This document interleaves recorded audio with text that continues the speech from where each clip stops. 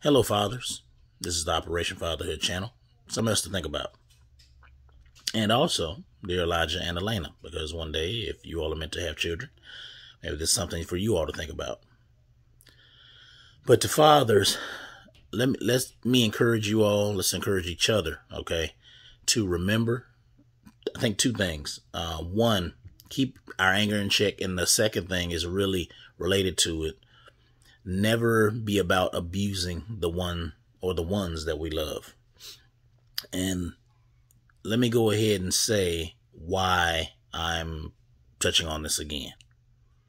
So recently, I've read about a couple of stories. Uh, one is in the, the town that I'm I'm living in, uh, and also another is about a family member of mine. So they, these are two young ladies that were uh, murdered by two men and presumably uh, by two men that they had been in relationships with. Uh, I'm not quite sure about the, the young lady that I read about in time, but I, but from what I've seen, I think that is the case.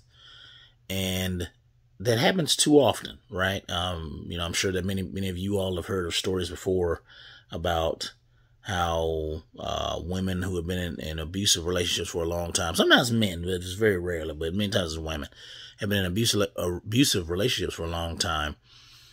And then uh, they end up being being uh, murdered by those men that they were in relationships because they, um, I mean, it could be any number of reasons, but many times they, they think they could change that man or that man, or they believe that man will change, that he will not be, um, he will not be an abusive person for a long time or, or, or in the future or whatever when they're dating them. Okay. But one thing is to important to remember that um, you should remember that abused people abuse people.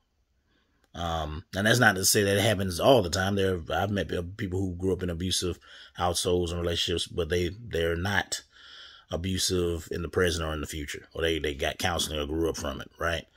But the old saying goes, and many times that is the case, that abused people do abuse people. So you need to watch yourself. But the reason I'm saying as fathers, we need to make sure that we are uh, being an example to our children. And you may hear my children in the background. Is that it is so important for us to, to really uh, show the importance of keeping our anger in check.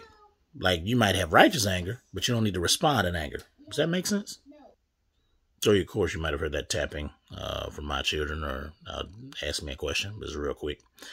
Um, so again, uh, remembering that, you know, like I said before, sometimes you will get angry. I think that's, that's always possible. I've read stories and heard of people say, well, my father never yelled, uh, never got angry and stuff like that. That's great. Uh, you know, I, I, wish I was that kind of dad. My kids love me, I think, but, um, sometimes for me to get their attention, I, I raise my voice. I, I, I really do. Um, but the thing is, is that so far, when my wife and I have had disagreements, they've seen me be, you know, angry, not in the sense of yelling, because I don't really like yell that that screaming at the top of my voice type of stuff.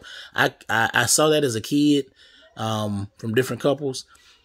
Made me uncomfortable. I mean, you know, like my, my, you know, I got a lot of anxiety hearing people yell at, you know, folks that they said they supposedly love. So I try my best not to do that. I try not to get that loud. Like my voice may be raised than higher than it is now, but I'll be like, hey, what's wrong with you? And hey, what's going on? Like I'm not. That's that's too much. As a father, as a man of the household, as a husband, if your voice is getting to that level, you you need to check yourself. You need to go ahead and say, you know what? I'm clearly angrier than angry, and I'm getting angrier. As my mother used to tell me, you getting that angry? Pray about it, or you know, immediately tell your spouse or your loved one, let me go get a break for a minute. I love you, okay?